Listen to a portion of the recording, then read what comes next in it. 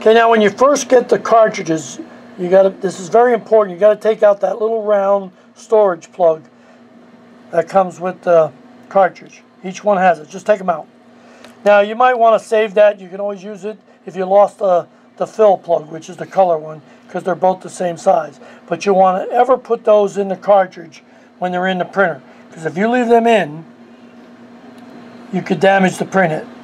Okay, as I always show you this, I take a little cardboard box and I make it so it makes it easier to, to refill because it holds the ink bottle. And I can even put my syringe here. And I used an old plastic cup. I mean, you can cut one out of a little water bottle or something. And then this way, the, it'll hold the cartridge up like this so you don't have to worry about knocking it over. So this is a cartridge we have filled before, but we're going to show you how to fill them when you get them. Remember, you got to take out that little storage plug. I still got it in this when I took it out. Okay. Now what we're going to do is we're going to fill the little cup up with ink and we're going to add ink to the cartridge. I, I, believe these cartridges hold about 12 to 14 milliliters of ink.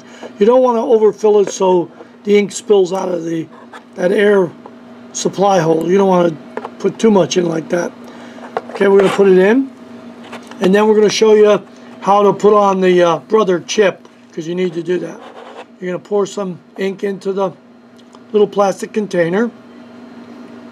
Okay.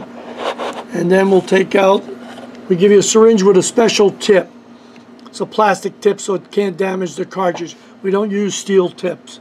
So you're going to draw up a com complete syringe about 10 to 12 milliliters of plug and go slow. You can watch it fill up. Now that's about 10 milliliters. So I'm going to put maybe another milliliter or two in it.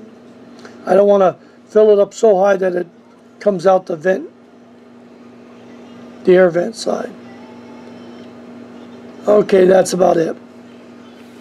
Now you can put the rest back in the, the bottle. And you don't need to wash out these syringes. Now, some of the syringes are going to say a discard after use. Those are veterinarian syringes. You, you just don't want to do that. You don't even have to wash them out. Okay, we're going to put the color plug back in, the fill hole, and that's it. So that's how quick and easy it was. Now I want to point this out. Some of the Brother cartridges, like on the refillables, it's wide open here in the front some brother cartridges, brother closed it in. So with the cartridges, we gave you these little, oh, you could say um, blocks that go in in there. Don't put them in if your your brother cartridges is not solid all the way across the front here. Don't do it. When you do put them in, it'll look like that.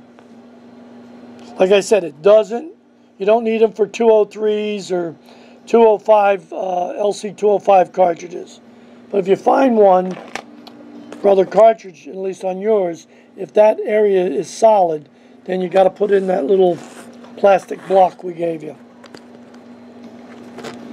Now we'll go ahead and put um, chip on. So I'll get one of the cartridges that does not have a chip, and then I'll get one of the brother cartridges and we'll show you how to take the chip off.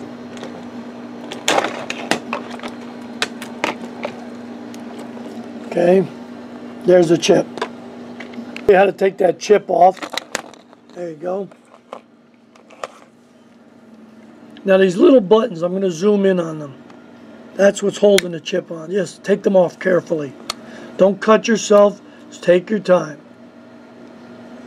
There you go. There. Okay. Now we'll be able to peel that chip up.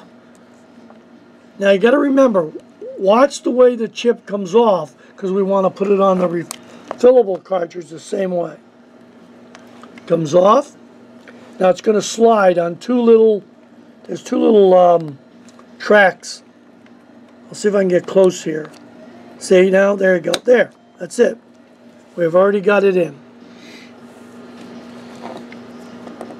And now we're going to reset that chip back to full. You, you don't want it to go below 15%. Sometimes the chips when you do that, will not reset. So the chip resetter lines up on the chip, and you wait from it's going to go from red to green. So you want to make sure you line it up correctly. There, just went to green. You're done. Take it away, and that's it. That's how simple it was to fill and reset the chip.